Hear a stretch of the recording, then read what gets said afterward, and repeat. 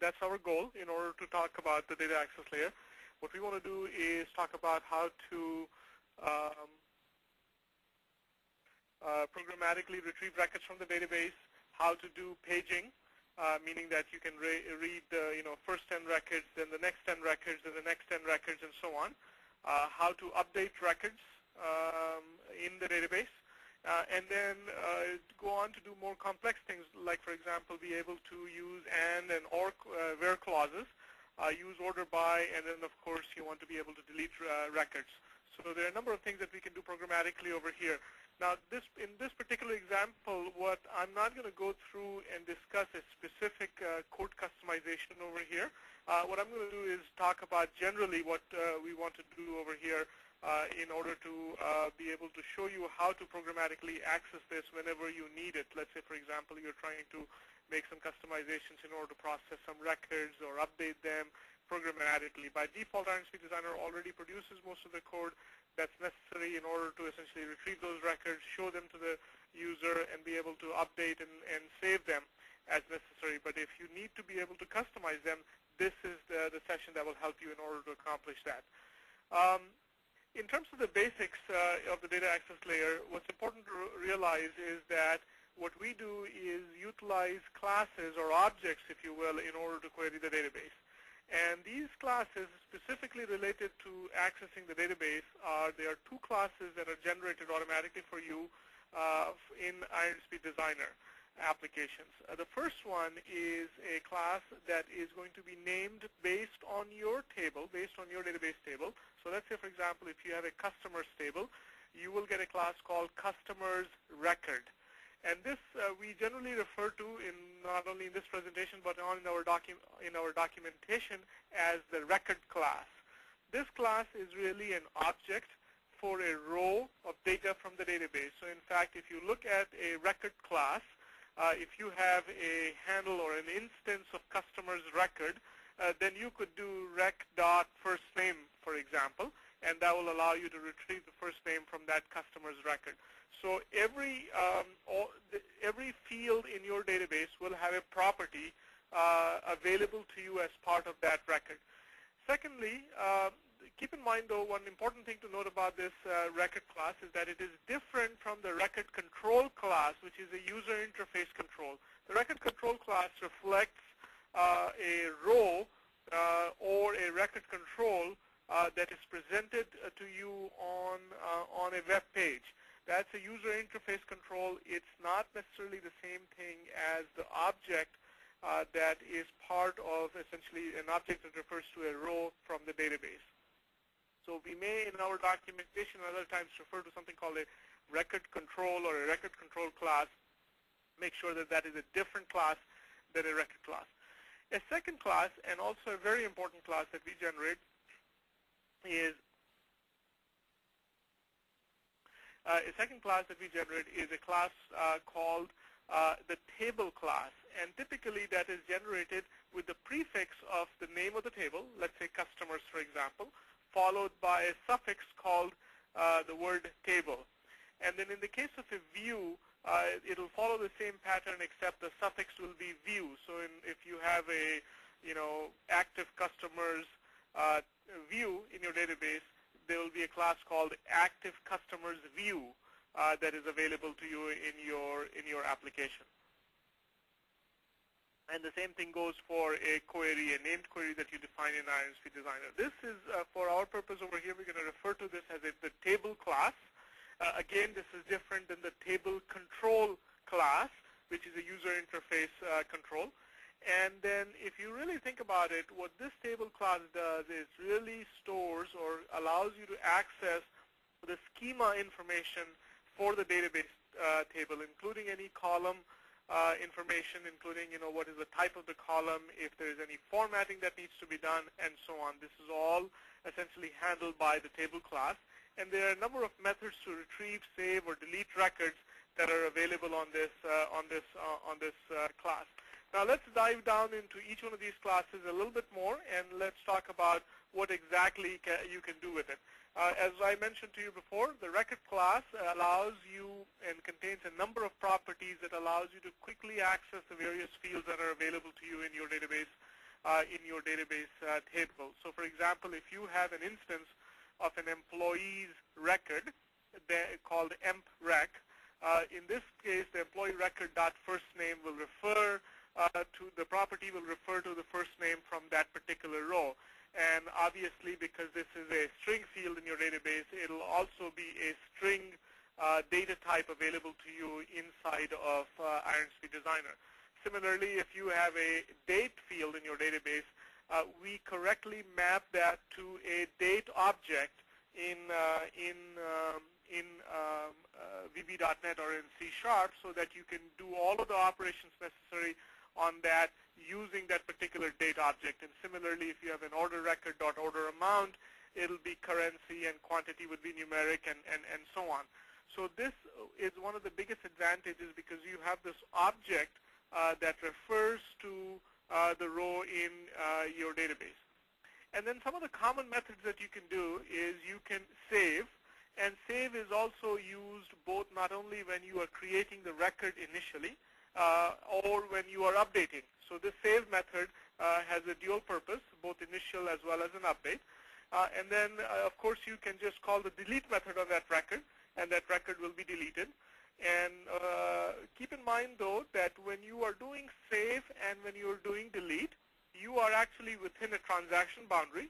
So technically, the save and the delete are not going to be committed to the database until after the commit transaction takes, uh, takes place. And then you have other uh, facilities available, like for example, in order to retrieve the ID, you can just do a get ID. Uh, you may also refer to it, uh, for example, you may have a customer ID field, so you could always do rec.customer ID, but that just gives you an uh, just gives you the actual ID itself, like 37, for example. But in some cases, you have composite keys where you are not just, you know, for example, let's say there is a uh, database table where the first name and the last name make up a composite key. Then what getID will do is it'll return a key value pair of both of those fields, and this is useful in order to essentially reread the record back again or do some operations on that record. So we'll refer to that uh, later on in this presentation as well. And then there are a couple of other functions uh, that are useful. There are many other methods that are available, but parse and format are two important uh, methods that allow you to, uh, you know, take the data from a user input. Let's say somebody types in, you know, January, you know, one dash, you know, one dash 2009. Uh, well, what we want to be able to do is take that when the user types that into a text box, we want to be able to parse that and store that as a date. And so the function that actually does that parsing and does the conversion from that string, string to the native value, native value in this case being a date value, uh, is a function called parse. And parse takes into account all of the uh, items related to, for example, culture settings.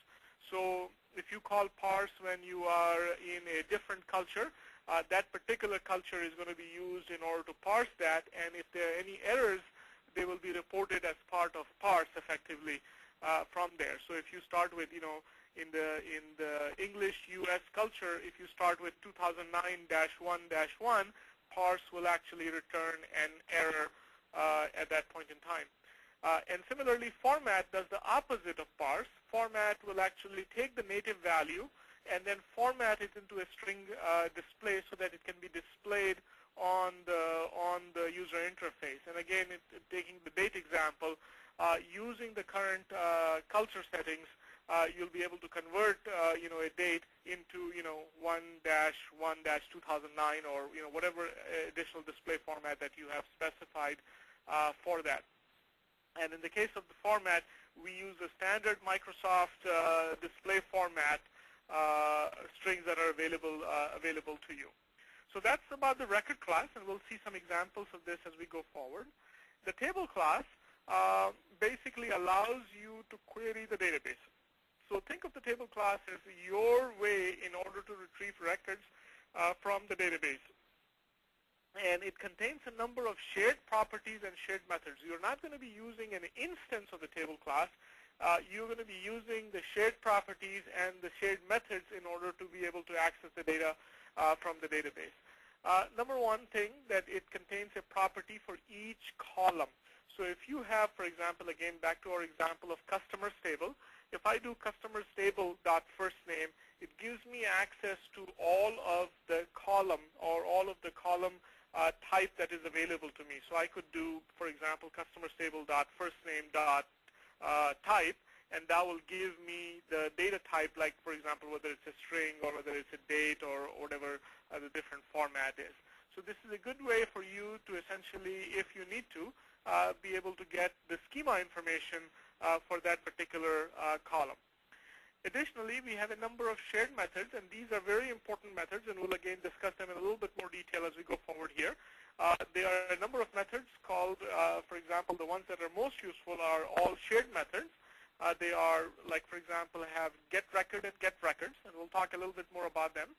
We also have delete and delete records. Uh, the difference between one and the other is one is just operates on one record versus multiple records.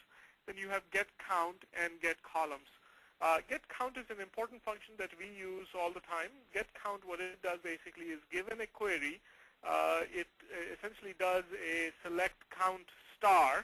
And the reason why we need to do that is we need to calculate, for example, you know, uh, how many records are there in a, uh, that are returned by a query so that we can display the pagination as an example and say, you know, page 1 of 13 or page 1 of 37 and, and, and so on. And you can also uh, call another function called get columns, which allows you to kind of go through all of the columns in a sequential manner. Uh, so you can say for i equal to you know zero, i less than get columns. Uh, here is uh, you know you can operate on the columns uh, kind of uh, by position as opposed to by by by name. Okay, so that's about the table class. Uh, why use these record or table classes instead of, and why not just go write your own select query uh, and go straight to, to the database. Number one, uh, there are many reasons uh, for you to do that, but number one, when you use these classes, like for example, let's say you use the get records function, what happens? Well, the first and foremost thing that happens is when you get the results back, the, uh, the results or rows from the database are returned as objects. So in this case, for example, if you have a customers table.get records, you're going to get an array of customer records. And this is an important thing so that you can operate on those records without having to worry about positional information about what column uh, is uh, being returned. If you change the, the query, if you change the, the view, uh, then now your position number may change. Let's say, for example, instead of the first name being the, the third field, it may become the fourth field or may become the second field. So you don't have to worry about it based on positional information. You can essentially operate them as record objects. And then each field is also converted back into its own native type so that you don't have to worry about based on the culture information and so on, uh, whether this is a date, whether this is a string, whether this is a currency, and so on and so forth. So the objects uh,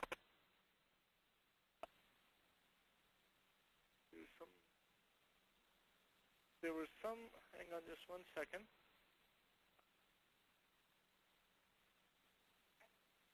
Okay, can you hear me? Okay. Sorry about that. I got some voice in the background saying my entry is not valid. I don't know what that means. Okay, hopefully all of you can hear me. If you cannot, please let us know. If, if you can, that's okay, but if you cannot, please let us know. Um, supports so the next thing uh, that I want to talk about is some of the reasons why you want to use record or table classes. Uh, an important item uh, also is that the record and the table classes support paging, uh, meaning that you can actually request the, you know, page 3 uh, of page 37, for example. What this allows you to do is essentially retrieve only the records from the database that are relevant to being displayed on your screen and not have to worry about retrieving, let's say if you have a million records or 10 million records in the database, you're not going to need to uh, um, uh, retrieve all 10 million records and do the paging inside of, in, in your memory. And in, in terms of paging, uh, keep in mind that paging is done differently by different database products. So for example, Oracle uses a, has a facility called ROWNUM. And so what we do is we automatically use database-specific way in order to do paging. Uh, unfortunately, uh, SQL Server did not have ROWNUM in 2000 and 2005. They have something similar to that in 2008. uh, but you have uh, the ability to effectively then go back and, and add that. So we actually do the paging for each database uh, in a different way, and that is all handled for you, and you don't have to worry about it. Another thing is that we also support foreign key expansion. So for example, uh, in certain cases, you may want to search based on a foreign key that is given rather than actually an ID. Typically, this is done from a where clause inside of your uh, inside of your uh, panel wizard. So you might say employee ID equal Mohiuddin. Well, what is em employee ID would never be Mohiuddin. It'll be, you know, whatever, 48 or 97 or something to that effect. Well, how do we expand that and how do we effectively do that? Well, that is automatically handled by get, uh, get records on the table object uh, when you use what is called uh, foreign key expansion. Uh, we also support order by, either by ID or DFKA, meaning display foreign key as. And one of the important things to realize is that whenever I am retrieving records, I may want it sorted for, for my purpose, for example, based not on not on the ID, not by 1, 2, 3, 4, 5, but by a string field which is the foreign key as. So I want all of the A last names first, and then the B last names, and then the C last names. So order by also respects the display foreign key as expansion in order to sort your records uh, by that. Uh, database open connection, uh, close connections are uh, handled automatically for you. And then we also do some amount of automatic caching. It's probably not going to be as extensive as NHibernate or as some of the other uh, products that are out there, uh, but it certainly does some amount of caching so that you do not have to worry about essentially reading the data again and again from, from the database um, uh, there. We also automatically, depending on whether you have used inline SQL or stored procedures, we will automatically use either inline SQL or stored procedure unbeknownst to you, basically. So when you do get records, uh, what you don't need to worry about is that if you use stored procedures, we're going to call that get records eventually is going to call us the stored procedure in order to uh, in order to retrieve those records, and it is going to be as efficient as uh, the calls that are made from uh, from your uh, generated application. And similarly, if you're using inline SQL, that's what get records will do. And then, of course, you do not need to know uh, SQL. So these are all of the advantages that you have uh, available when you use the record and the table uh, classes for you. A quick example uh, for you, just to see the equivalence. So if you have something like select star from customers where country equal USA and order by state in ascending order, uh, and then you further want to clarify that uh, query. There is no SQL syntax for this thing, but you want to say return 10 records from page 17. Well, how can you specify that in, in uh, you cannot do that in SQL, but how can you do that using the data access layer? Well, what you can do is you essentially have to have the right three lines where you initialize the where string, like in this case country equal quote USA quote, uh, and then you create an order by object, which is essentially use the state column uh, in ascending order, and then you simply call the get records function. And you can see kind of uh, what I've done is highlighted in yellow and green uh, the different areas uh, to show you how those are essentially passed by. So you, no you don't need to do select star from customers where. It's automatically done for you when you call the dot get records. And you simply specify the where string, you uh, specify the order by object, and you specify the page number. Page number is zero-based, so that's why if you want page 17, uh, you will actually specify 16 there. And then you want 10 records, uh, which is the fourth arg argument that is specified over there. Okay, back to some of the other uh, basics over here, and then we'll go into specific uh, issues related to get records. Uh, keep in mind that transaction, start, end, and commit are always needed in order to access the database. Uh, that is uh, always required. It's called the transaction boundary uh, in technical terminology. So you always have to do any database access, whether you're calling get records, delete, save, or anything like that, must be in a transaction boundary. So just one thing to note, basically when you are actually doing certain operations within a click handler, for example, in a button, like let's say you are doing it in a save button click handler, what's important to know is that the transaction boundary has automatically been created for you and you can look at that in the page code behind. So if you look at the save button underscore core click, we will actually uh, you know, start a transaction boundary and end a transaction boundary. So anything that you're doing within that click handler, you don't have to actually initiate the transaction. Uh, but otherwise, if you're doing outside of the click handlers, you, of course, have to do your own transaction boundary uh, when you are accessing uh, the database. And you can, of course, can do a number of get, save, delete, and any other operations over there, all part of the same transaction. And then the commit is only required, of course, if you're saving or updating. Otherwise, you just do a begin transaction and an end transaction. And one note uh, to all of your developers out there, make sure you always handle exceptions because there could be a variety of exceptions that are reported uh, when you are uh, accessing the database. The database may have gone offline.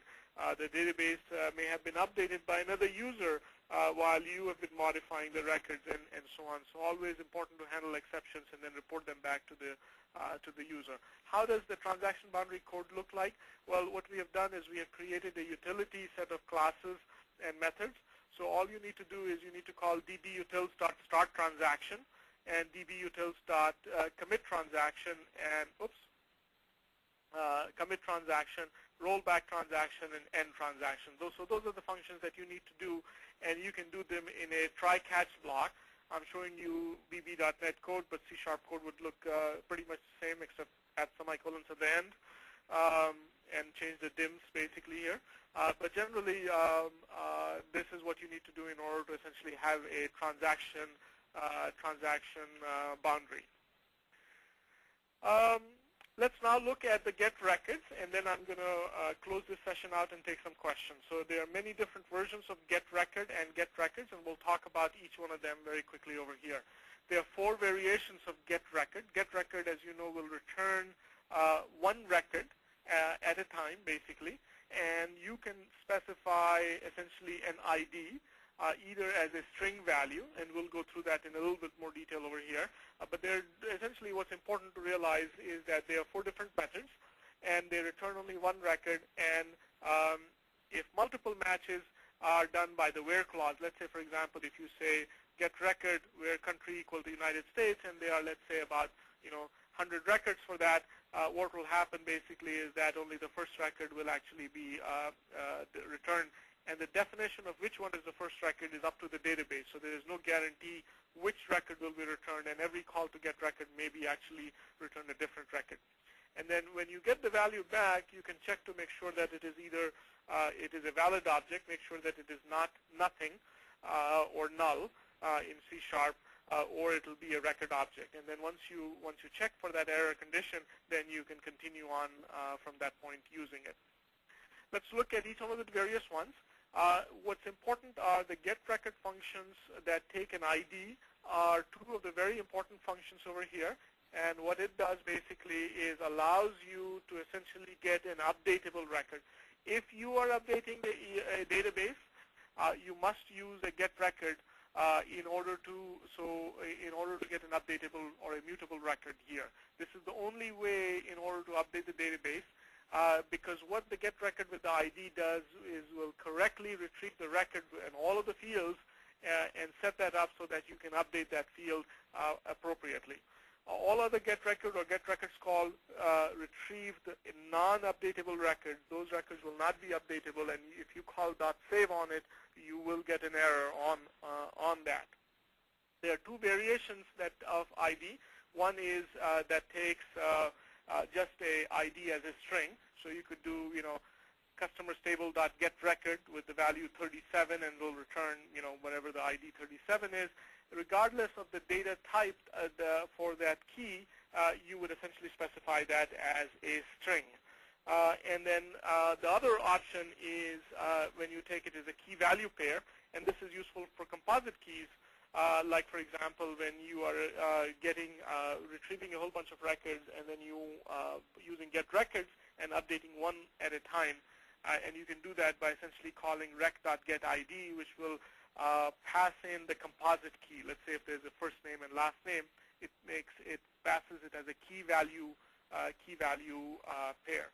I just abbreviated customers table to CT over here in this example just to show you um, so I can fit everything on the on, on this page.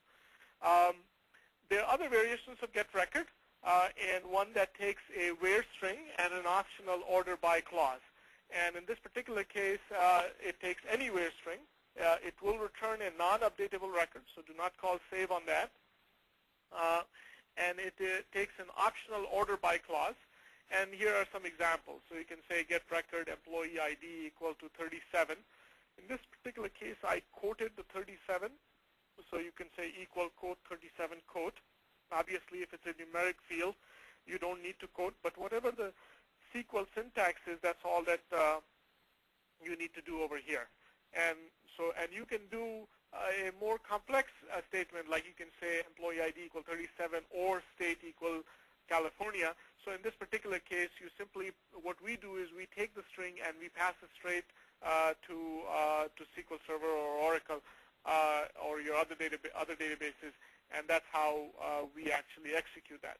And you can use other operators like like, for example, and use percent and others uh, that I've shown you over here uh, in your where string. So in effect, that where string will exactly be the SQL syntax that you would use when you are executing a select statement uh, in, uh, in, uh, in your database. Get records uh, are, is similar to get record, obviously, but the only difference is that it returns an array of record objects. So in this particular case, rather than just returning one record, like get record does, it returns an array. And get records also has a number of variations. Uh, most of them are similar except the last one. Uh, all, the first three of them all take a where clause as a string uh, and then may take additional arguments like order by and page index and page size. But while the fourth one takes a the where clause as an object. And there are advantages and disadvantages of the where clause as an object, and we'll talk about that in a minute over here. Um, so let's focus on the where, uh, the one with the takes a string. It takes any where string, very similar to the where uh, uh, get record uh, call that I showed you earlier. Uh, they of course will return non-updatable records, and the get records would just take the where string or the where string and the order by will return all matching records and so there's no limit to them. So obviously, if you have a million records, uh, you're going to have a problem over there. So get records uh, without a paging uh, indicator uh, is something that you should be very careful about using. You don't want to essentially call that on a large databases. Uh, but you can certainly, if you know that you only have, you know, 10 or 20 or 50 uh, things, you can use get records in that case. And here is a sample code that shows you so what you can do is you can say dim my records as customer record and uh, an array of customer record, uh, customers record objects, and then you simply do customers table dot get records with the country equal USA. Uh, I did not quote USA, so there's a slightly slight error in the syntax there. Um, and then you can basically check um, uh, error check to make sure that my records is not, not is nothing.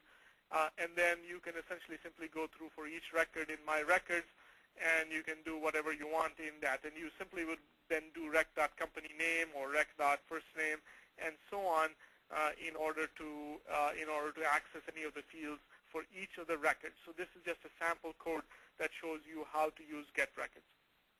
Similarly, uh, you have uh, another version of get records which takes a page index and a page size, and it still takes the same where string. Page index is zero base, as we talked about earlier. Page size is the number of records to return. Uh, and again, it's non-updatable records, and then returns only the page size records uh, from the, the page number that is given. So in this particular case, if you look at, for example, if you want to retrieve page 4, 50 records, then your call would be essentially get records, uh, country equal to USA, nothing, or null uh, for the purpose of order by, meaning that use the default sorting available in the database and then I would say 3 because if I want page number 0 base, so 0 is the first page, uh, 1, 2, 3 would be the fourth page, and then the 50 records. We automatically will call the sort procedure if necessary. We'll automatically do the paging for you and retrieve only those 50 records. We will not return 200 records and then chop it off to give you the 151st to 200 record, uh, basically. And then you can, of course, you know, go through for each record once you do the error checking uh, each record and, and do your stuff in that in that in that code. Um, the where clause version of get records, we'll talk about that here. last couple of slides before I take questions here. Um, and the where clause object and other parameters will be exactly the same as before. So let's talk about what the where clause object looks like. Uh, the where clause object, one of the important things about that is an alternative to where string gives you more flexibility with operators and values uh, so that you don't have to know the SQL syntax when you're doing it. And sometimes your fields contain, uh, you know, uh, characters like space, for example. Let's say if you named your field first space name, uh, then you, using them in a where string becomes a problem because then you need to know the specific syntax of your of your uh, underlying uh, database. Let's say, for example, uh, in SQL Server, you would use a square bracket to specify first space name. In Oracle, it's, I think, somewhat different. So you don't have to worry about knowing uh, those kind of lower level details of your uh, of your database. In, in, by using a where clause object, you are able to, you are insulated from that, and you can use that exactly uh, in the same way no matter what database product you're using underneath. So how does a where clause object look like? Well, it's nothing but essentially, and where clause objects could essentially contain other where clause objects as well. So here's an example where it's a slightly more complex statement where I say, I want to create a where clause which says country equal to USA, state and state is California, and followed by essentially a OR clause um, uh, within that where the name is either Jones uh, or the company name is Jones or contact name is Jones. Well, how do I create that?